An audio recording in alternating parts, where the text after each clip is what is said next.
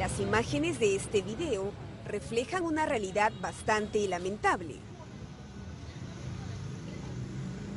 Una pareja en evidente estado de ebriedad se encuentra acompañada de un menor de edad que no pasa de los dos años. La mujer, quien sería la madre, ni le hace caso al pequeño, que sentado en el escalón de una puerta se alimenta solo de una bolsa.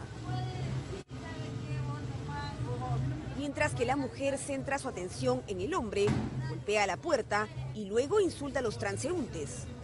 Todo delante del niño, quien finalmente se va con ella.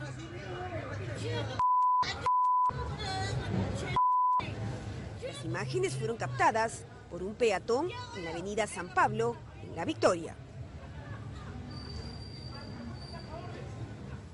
Lo que pasa es que cuando una persona desarrolla enfermedad adictiva, por ejemplo al alcohol, esta persona no solamente tiene incapacidad para controlarse, sino tiene incapacidad para abstenerse y detenerse del alcohol, puede tomar en cualquier momento, el consumo ya es prioridad para ellos.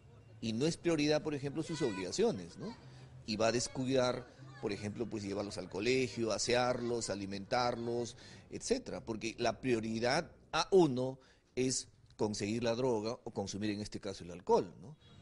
Las secuelas que el alcohol podría dejar en la personalidad de los pequeños son realmente significativas. No es que necesariamente van a ser alcohólicos, sino que pueden también esto generar una serie de otras consecuencias, por ejemplo, trastornos psiquiátricos mayores, depresiones severas, ideación suicida recurrente. Para Milton Rojas, consultor de Cedro, la rehabilitación siempre es posible, pero en la medida en que el adicto se deje ayudar y haya un compromiso de la familia o el entorno cercano. Además, especifica que este tipo de terapia es distinta en mujeres y hombres. Tienen otras aristas el tratamiento femenino, eso es importante decir. Una mujer se inicia en el consumo de alcohol no precisamente por los mismos factores de los varones. Pues.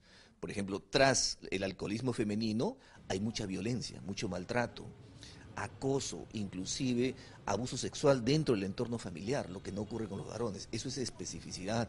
La mirada tiene que ser distinta. En el caso del varón tienen otros factores de riesgo.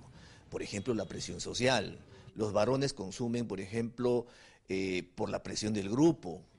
Según la Organización Mundial de la Salud, el uso abusivo del alcohol mata anualmente a más de 3 millones de personas en el mundo y de esa cantidad, las tres cuartas partes de los fallecidos son varones.